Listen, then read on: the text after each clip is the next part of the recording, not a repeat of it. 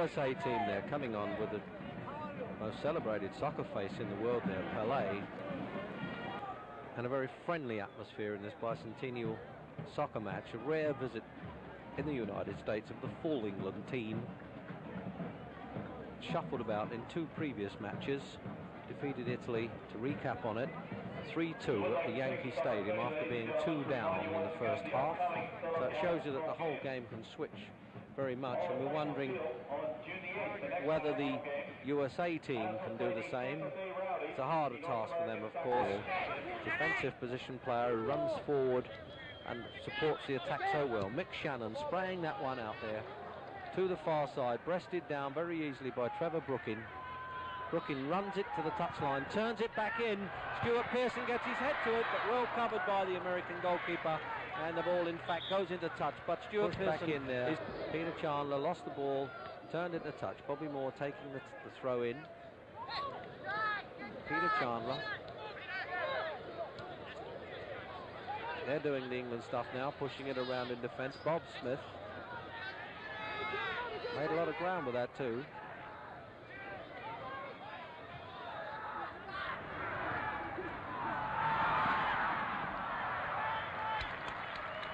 The number 12 is Stewart Scullion is on the pitch now.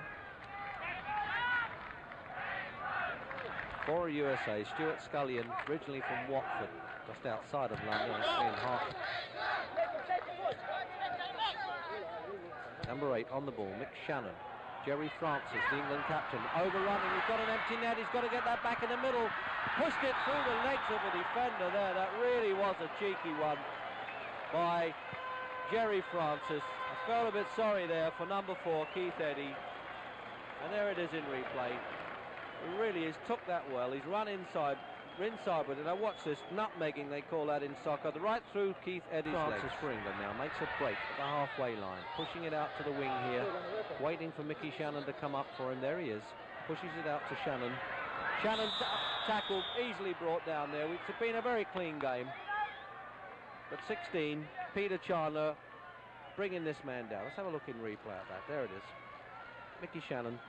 Well late tackle, of course. And no doubt about that. Could be a dangerous uh, free kick situation. But needing treatment here.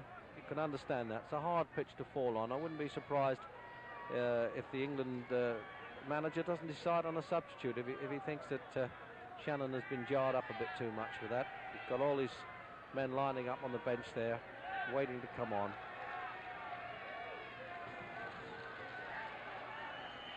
Don Revie going, having a Bay. Chinaglia again. Keith Eddy. Tommy Smith. Chips that ball over to Chinaglia. Get that? No, well held again by Ray Clemence.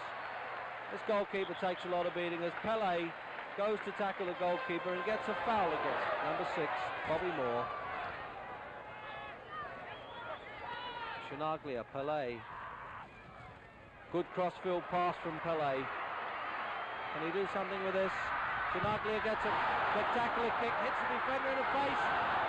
He goes down, the goalkeeper misses it, but it flights over the bar. A wasted chance there for USA. We must see that one in replay. There it is. Flighted well too. Hits him full in the face with the ball, but Clemence comes out, takes the play away, as it were, from Chinaglia who's unable to pull it round the goalkeeper and he left foots it placement there. Number 14 comes on, that's Jan Kowalik. Jan Kowalik. England on attack. Kevin Keegan gets it again. Two goal Keegan. Over to Stuart Pearson, Gerry Francis. There it is. Got to be one again. No, he's missed it, or is he going to take his time? No.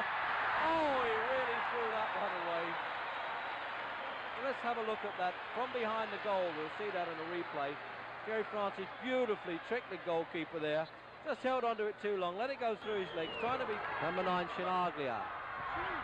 Pele. An exciting but rather wasted try there by Jan Kowalik.